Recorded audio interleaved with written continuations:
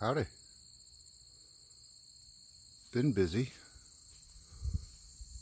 Thought I was done this, but been working on this ground mount for a couple of weeks. Actually, I'm gonna get uh, there's a security camera up on the corner.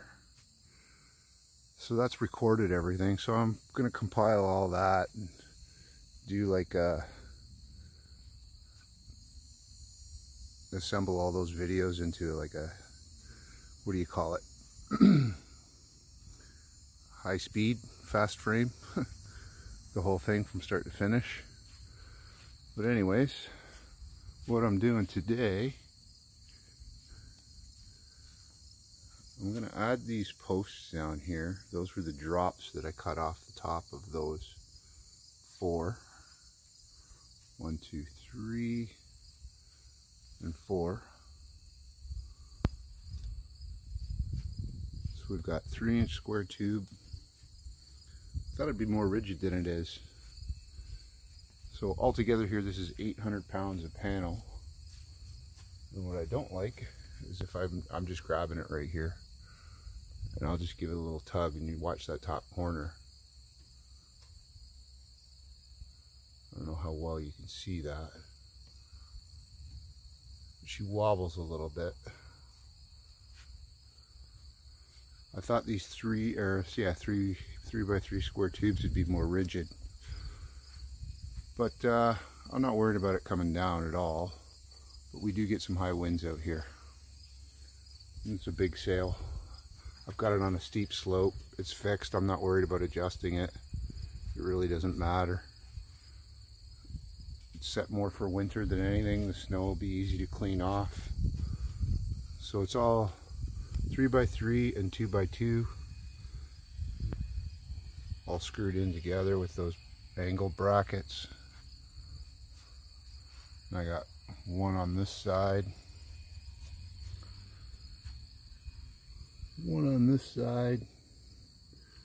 It's sturdy, but it's not rigid enough. So I'm gonna cement these into the ground and then run a diagonal. I'm not sure yet, probably one by one square tube. I could use angle iron, I'm not sure, but I'm gonna weld a brace that'll go basically from up here on a diagonal, welded right across, up, and that'll take that, that wobble out. So I was uh, starting to drill a hole. I hit a root and I should have got the camera out for it. I got that jackhammer from uh, Vevor. I've had it quite a while. Works really good. Had to cut my way through these roots that I hit. But yeah, all this kife here was in the way. Trying to break my arms running this post hole auger down. So we cracked that all out, just plugged it into the generator there. So it's all good. So I'm going to work my way across, get these posts cemented in today. I doubt I'll get them welded up tonight, today. But, uh, yeah, like I say. So this is 20 250 watt. I got them used, got them cheap. All that steel was about $1,400 delivered. Got that down at the, the same company that built built my shop, CDN in Delhi, Ontario. So yeah, they dropped off all the steel.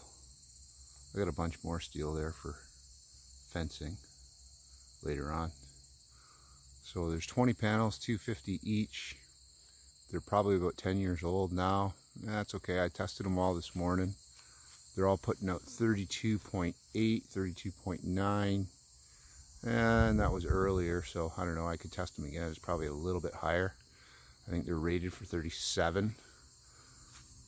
So, you know, they're not the, the highest performance that you can get. But uh, the idea here is seven will be strung together, seven and seven to run two heat pumps. and that'll leave six left to add to charge batteries in the shop. So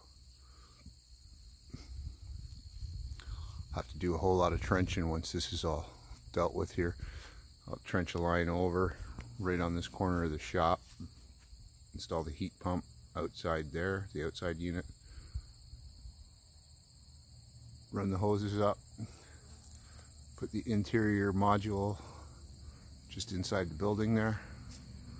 So anyways yeah just a quick little update. And yeah it'll be neat when I can finally get all that security camera footage. I'm, I'm pulling it all off. I needed to get a bigger flash drive because it's a lot of video so it's gonna have to go in like super fast speed. But my old computer I don't even have enough space to download CapCut. I gotta I gotta get a new computer or something so I can get a video editor going. And uh, yeah put all these videos together. So you can check into that later on if you're interested at all. Anyways bye for now